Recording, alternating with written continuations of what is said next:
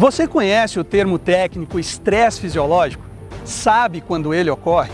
Com certeza você sabe o que é a quebra do leite ou quando a vaca esconde o leite. A partir de agora, você vai ver qual é o impacto desse fenômeno no seu animal, na sua produção e principalmente no seu bolso.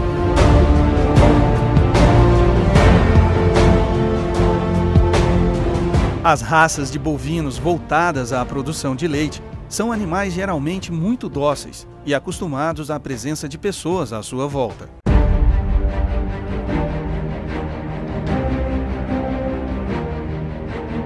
Mas o fato de não reagirem à presença de humanos, como faz o Nelore, por exemplo, não significa que esses animais não se estressam. Ao contrário, sofrem o chamado estresse fisiológico muito mais fácil que as raças de corte. Tanto que tudo na hora da ordenha segue um ritual muito rígido. Isso porque, para que haja a chamada descida do leite, é necessário que o organismo do animal libere um hormônio, a ocitocina.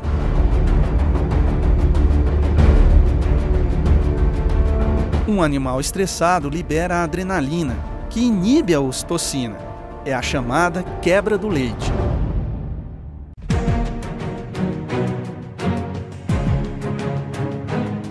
Esse fenômeno ocorre mesmo nos casos de estresse fisiológico. Qualquer evento que ocorre com uma vaca de leite dentro do curral, que não seja ordenha ou alimentação, provoca a liberação de adrenalina. A adrenalina vai de encontro à ocitocina, que é o hormônio da descida do leite. O animal vai esconder até 20% da produção por até 3 dias. A gente sabe que você tem que mexer com gado de leite você tem que fazer manejo com gado de leite para duas coisas: para ordenhar e para o animal comer. Você levar um gado de leite, uma vaca de leite, para fazer manejo contra carrapato é loucura. Porque cada vez que você faz um manejo com uma vaca de leite, ela vai esconder pelo menos 20% de produção por até 4 dias. Todo o seu trabalho, todo o seu esforço está sendo comprometido, meu amigo, por causa do carrapato, por causa de um método que ele não é inteligente, ele é burro e ele é contra você. Esse é o convite do Difly S3, meu amigo. Combater o carrapato e a mosca do chifre 365 dias, 24 horas por dia, o ano inteiro, por apenas 18 centavos por cabeça por dia, com infestações perto de zero e sem manejo. O estresse fisiológico ocorre em eventos que não são diários no curral de ordenha, como por exemplo, pulverizações, aplicação de puron, ou indectocidas injetáveis, tais como ivermectina, abamectina e todas as lactonas macrocíclicas existentes no mercado. E a conta é muito simples. Se você tem carrapato nos seus animais, você tem menos leite no Uber. Se você tem uma infestação moderada, você tem uma perda de pelo menos um litro de leite por dia. E aí você fala, como é que eu sei se eu tenho uma infestação moderada ou não? Se você faz um manejo de 30 a 60 dias, pelo menos, para controlar o carrapato, você tem uma infestação moderada e você está perdendo pelo menos um litro de leite por dia. Antes do DeFi era bem complicado. Eu, teria, eu tinha que largar trator na roça, tinha que largar funcionário para trás, di, direcionar pessoal da lavoura para o curral para fazer esse tipo de manejo. Era estressante, era cansativo, extremamente cansativo. Agora, o que era pior era o problema da queda de produção perdia-se 300 litros por cada manejo. Isso no mês dava 1.800. Era a maioria da produção de muito produtor pequeno no mês. Hoje está estabilizado. Tenho uma produção linear, sem problema de manejo. O gado não estressa, o gado não sente, o gado não se machuca, porque ele, não, ele só vai no curral para tirar leite. A melhor proposta para o combate dos carrapatos é o de Fly S3. Com o uso correto e contínuo do Difly S3, a infestação de carrapatos é reduzida a perto de zero.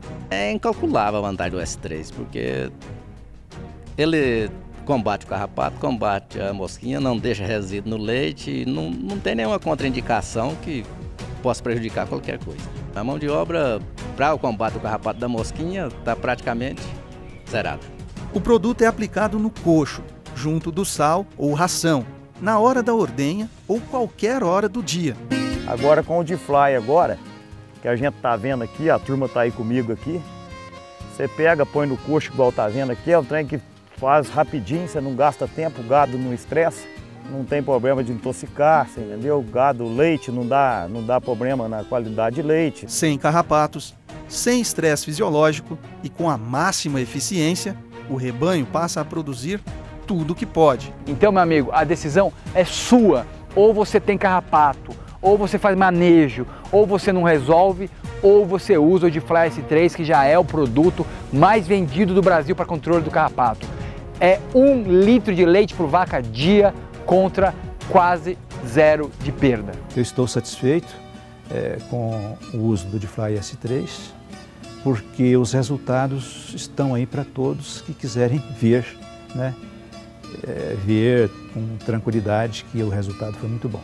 Eu digo assim que é, depois que chegou o D-Fly, né, que os carrapatos quando, quando chega sumiram, então eu digo D-Fly, né, com D-Fly, carrapato bye bye. Pesquisas mostram que a produção aumenta em até um litro de leite por vaca dia. O nosso convite para você é muito simples.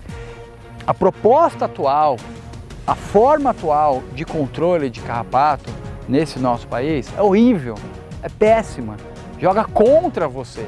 O nosso convite é que você pare de sofrer e venha para o mundo de fly. Viu só, meu amigo? O estresse fisiológico, a quebra do leite, tem cura e tem nome: de Fly S3.